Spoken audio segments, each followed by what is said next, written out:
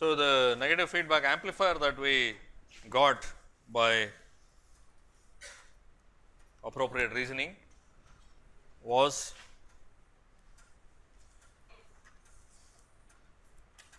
first of all to divide the output by a factor of k which is the gain compare that with the input which is the error voltage and realize an integrator. Okay. Sorry. This is a capacitor. And to not disturb this integrator we also use a control source which simply replicates this voltage. Okay.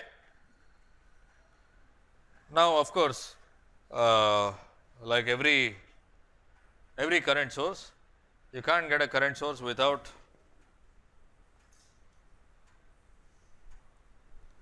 some output resistance hanging off that. Okay. So, that means that basically uh, if you take uh, constant current source, independent current source, its characteristics will not be exactly a horizontal line in the IV plane, okay, it will have some slope. Or in other words, I mean, if you open circuit a current source, the voltage does not go to infinity, it goes only to some finite value, okay, the same with the control source. So, that is there and then also initially we do not want to worry about how exactly the output builds up. We only worry about the steady state with a constant input, okay, with a DC input. So, in that case we can simply instead of having the capacitor and then finding out what happens after a long time, we can simply remove the capacitor and do it, right. So, this works only for steady state with constant inputs that is to something to keep in mind. But the advantage is it gives us a simpler representation of the negative feedback amplifier which is that this entire thing can be clubbed into a single voltage controlled voltage source of gain A naught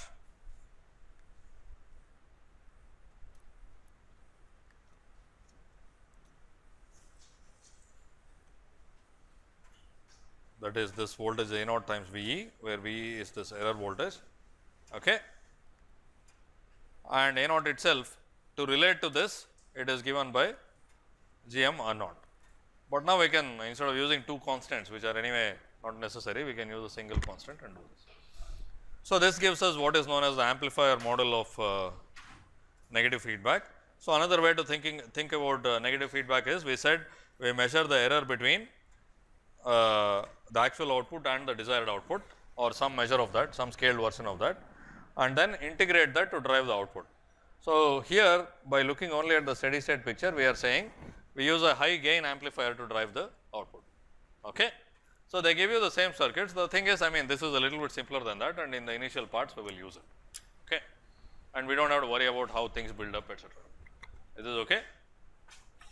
And this entire thing I had not introduced the term before this business of taking the difference and either amplifying it by a large factor or integrating it.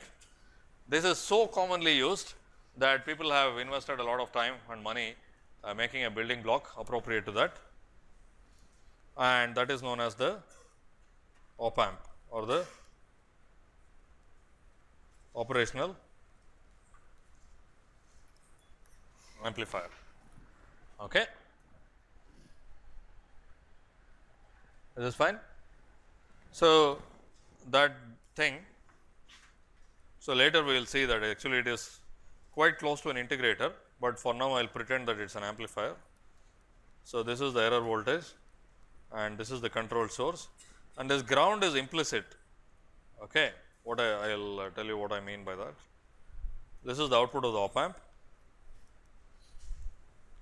and this is denoted by this symbol. So, you have a plus and a minus input term. What it does is it measures the it looks at the voltage between these two amplifies it by a large amount okay, A naught times uh, that amount and gives you an output. Okay. Now, of course, this voltage source is connected between the output and ground. For simplicity, we do not show this ground. This ground is whatever ground is in the circuit. Okay. So, this looks a little weird because uh, it looks like the op amp is giving you A naught times V e with respect to whatever ground, but for now that is also okay. So, you can we can do all the analysis with this and without any issues. Okay. Is this fine?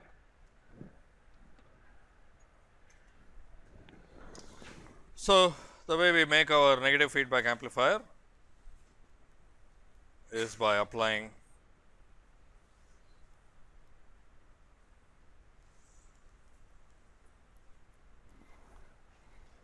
a feedback loop around the op amp. So, this is known as the feedback loop right.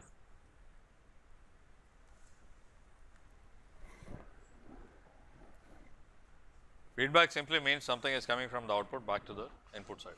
Okay. How to get it to do useful things that is up to So, now first of all, so in the ideal version of the uh, negative feedback circuit R naught was infinity. So, what is the value of A naught? What is the value of A naught? Also infinity. Okay. So, what will be the value V e? 0. Why? At least for any, I mean clearly to have a sensible solution for any finite value of V naught, if A naught is infinity, V e has to be 0. And the way to relate it to what we learned earlier is that this one, right, this circuit without R naught, but with the integrator, what happened was in steady state V e went to 0, is not it? I mean the error initially was something and the error went on reducing and it went off to 0. So, what this is uh, depicting is the steady state picture, it only say, it simply says that this V is 0.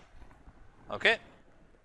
Now, the voltage difference between those two terminals is 0, not because they are short circuited to each other, but because of negative feedback. It is extremely important and this business of the op amp inputs being 0, op amp inputs have a 0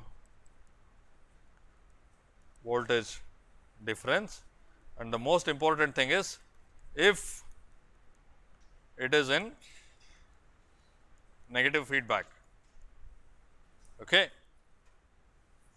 So, if it is a negative feedback it is a 0 voltage difference and this is known as a virtual short. A short circuit between two terminals means the voltage difference between those two is 0 but in this case they are not actually connected to each other, no current can flow, but they will they are forced to have the same voltage. So, it is known as a virtual short. This is of course, a great shortcut. In fact, most of the op amp analysis books may tell you that hey you assume that the op amp inputs are virtual short and analyze it that is all. Analysis becomes extremely easy. How does it become easy? Let us say pretend that uh, you did not know all the background how the circuit came about.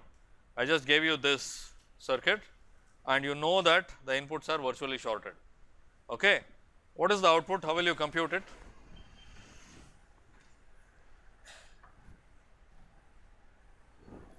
How will you compute that? How will you go about computing the output here? Obviously, this is virtually shorted. So, this is V i.